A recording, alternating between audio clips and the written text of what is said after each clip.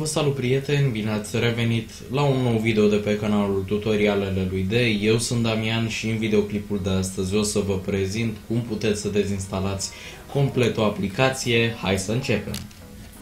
Nu știu dacă știți, dar dacă dezinstalați o aplicație direct din Windows, acea aplicație nu va fi dezinstalată complet, adică vor rămâne anumite fișiere din ea în calculator, care ne vor ocupa spațiu inutil.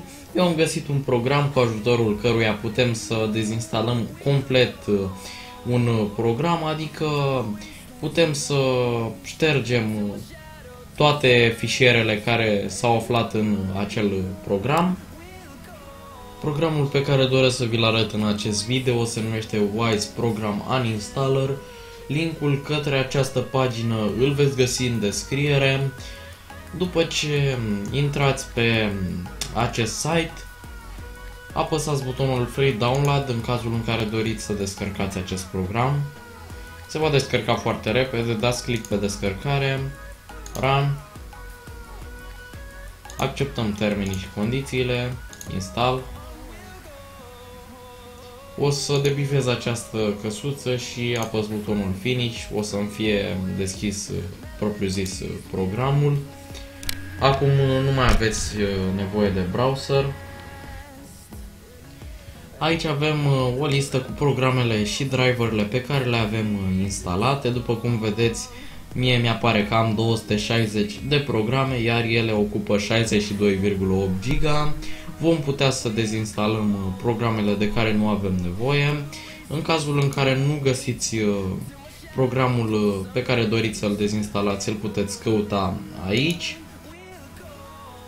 o să dezinstalez și eu un program pentru a vă arăta procedeul. Voi dezinstala acest program, dau click pe el, vom apăsa butonul Save Uninstall. Butonul Forced Uninstall se folosește doar atunci când respectiva aplicație nu permite o dezinstalare normală și trebuie să forțăm într-un anumit mod dezinstalarea. În cazul meu nu va trebui să fac acest lucru și apăs butonul Save Uninstall. Apăs butonul Yes, deoarece doresc să dezinstalez aplicația. Iar acum apăs OK. În acest moment îmi sunt căutate toate fișierele nedorite care ar fi rămas dacă aș fi dezinstalat acest program din Windows. În acest fel, după ce ele îmi sunt detectate, le pot șterge am un singur fișier, dar o să apăs butonul Remove, iar um, respectivul fișier mi-a fost eliminat uh, de pe sistem. Cam acesta este procedeul la orice aplicație. Eu uh, vă sfătuiesc să folosiți această metodă deoarece este mult mai bine pentru sistemul dumneavoastră.